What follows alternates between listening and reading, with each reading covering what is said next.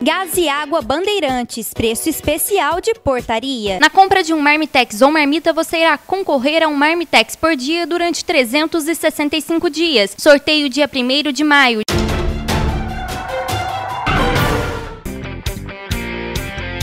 Assaltantes armados levam malote de posto de combustível. Aconteceu assalto na rua Pinto Ribeiro, no centro de São Sebastião do Paraíso.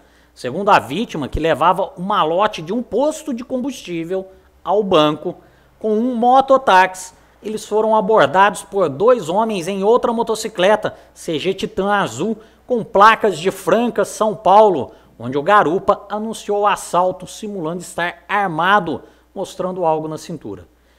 Ele pegou o malote e os dois fugiram em seguida. A polícia militar foi chamada e iniciou o cerco e bloqueio da região, mas os autores não foram localizados.